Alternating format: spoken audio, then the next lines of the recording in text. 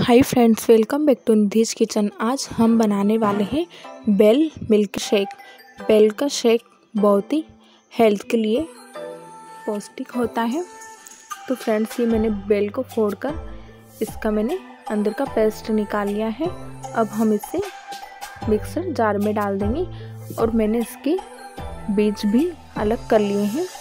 आप इसमें बीज रखोगे तो ये कड़े लगेंगे। अब हम इसमें डाल देंगे चीनी। ये मैंने लिया है एक कप मिल्क। अब हम इसमें अच्छे टेस्ट के लिए डाल देंगे इलायची। और इसे ढक्कन लगाकर हम अच्छे से ग्राइंड कर लिया है। अब हम इसे स्टैनर में डालकर छान लेंगे। बेल का जूस बनाना बहुत ही इजी है। ये गर्मियों में ठंडक में राहत देता है। देखिए फ्रेंड्स ये ऊपर का पार्ट से बच गया है।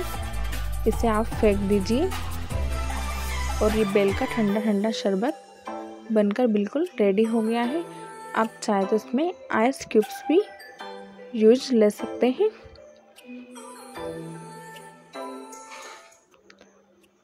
अब हम इसमें डाल देंगे ग्लास में।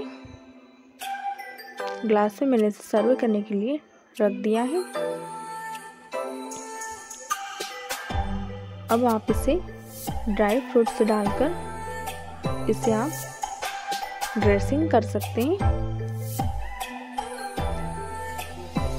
मैंने इसके ऊपर थोड़े से ड्राई फ्रूट से डाल दिए हैं।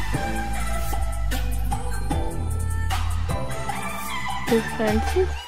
ये रेसिपी बनाना बिल्कुल सिंपल है। तो आपको मेरी रेसिपी कैसी लगी कमेंट करके बताएँ। मेरे वीडियो को ज़्यादा से ज़्यादा लाइक शेयर कीजिए।